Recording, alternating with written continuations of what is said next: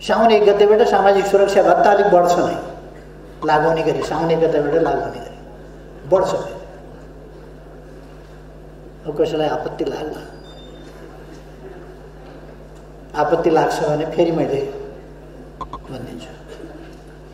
आपत्ति लाग्छ भने सामाजिक सुरक्षा भत्ता साउन एक गतिबाट लागु हुने गरी बढाइनेछ। करिब करिब। पाँच हजार जसो विद्यालयलाई। अब छिटै नै हामी पाँच अरबभन्दा बढी रकम विद्यालयको पूर्वाधार विकास लगायतका काममा छिटै नै तुरुन्तै वितरण गर्दैछौँ। पाँच हजार। पाँच अरबभन्दा बढी रकम त्यसमा वितरण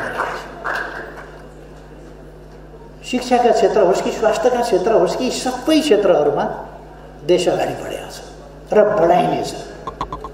સમૃદ્ધ નેપાલ સુખી નેપાલી નારા होइन ગંતવ્ય हो